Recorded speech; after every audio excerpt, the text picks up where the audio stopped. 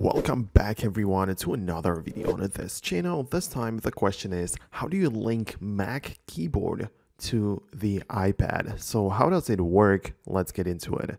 First of all, what you need to understand is that there might be like different types of keyboards.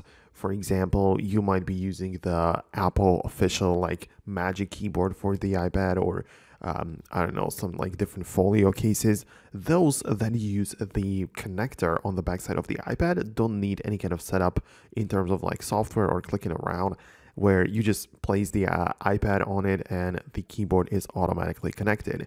If you, for example, have like a different keyboard which doesn't connect to the iPad through any connector, then you need to ensure that the keyboard is properly charged and turned on, ready to be paired. Like the Apple keyboards for the Mac, for example, has like this little switch on the backside where it needs to be turned on, and it, you know it is when you can see like the green background behind it.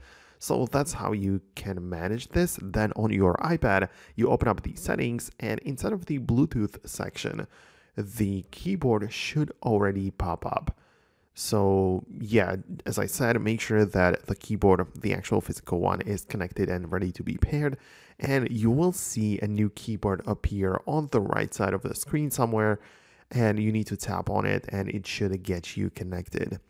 Then of course, inside of the settings, in the general section, you have the ability to customize the physical uh, like keyboard, the one that you connected, as well as the software one. So just keep in mind that um, changing the settings is also like possible for this external third-party keyboard. So I honestly hope that you managed to get it to work.